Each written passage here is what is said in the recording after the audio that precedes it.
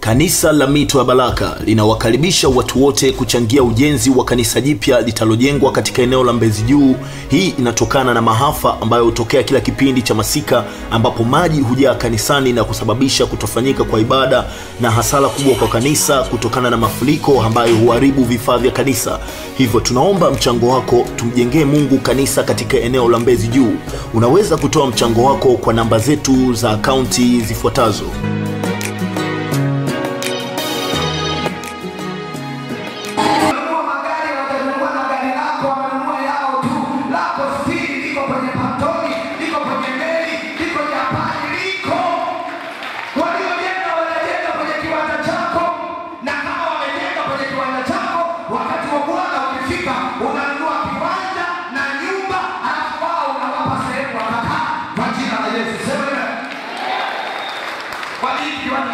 kiwanda chetu, sikulikuwa na wenyewe.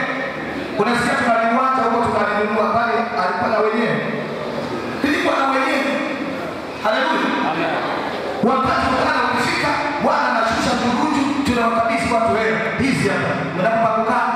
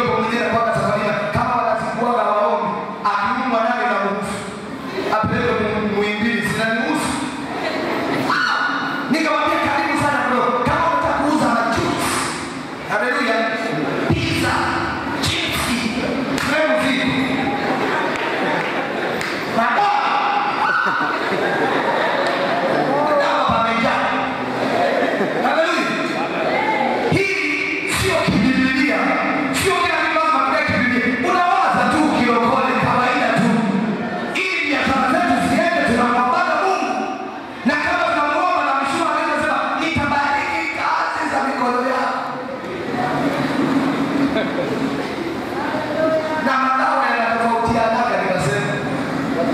Kama wajama wanajua kwenye famasi, maombi yao mengi sio kuuza pamba, pamba imechukulia mia kuna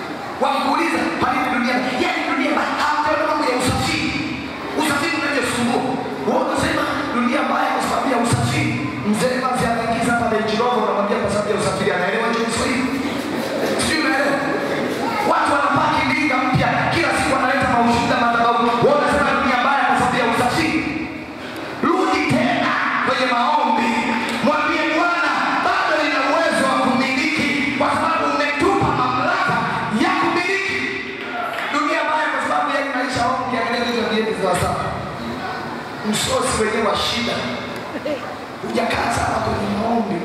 Kumbuka kwenye Mwanzo ishirini na nane mstari wa kwanza Biblia inasema nini? Sema tumepewa kutawala samaki wa baharini, ndege wa angani, wanyama wa porini, tumepewa. Kwa hiyo mpendwa, kula nyama ni uko kwenye himaya yako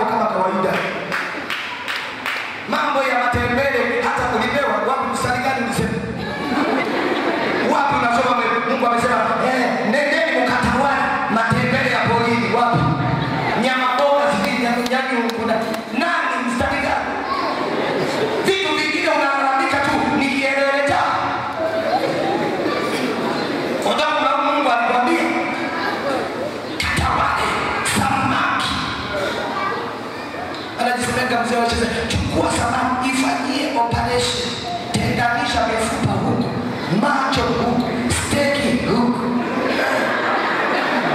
Fanya operation kama dokta, hata kama hujaenda chuo.